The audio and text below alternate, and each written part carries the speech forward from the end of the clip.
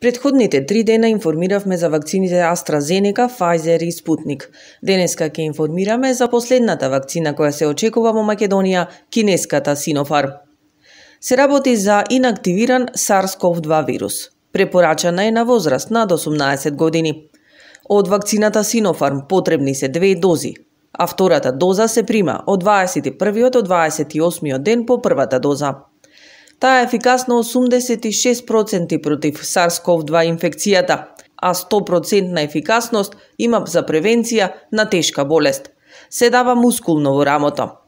Што се однесува до безбедноста, повеќе од 43 милиони дози се дадени до 21 февруари во светот.